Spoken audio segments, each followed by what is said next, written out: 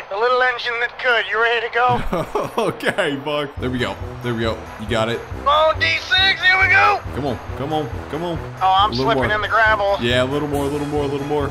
I think I'm good. Okay, I'm gonna go back now.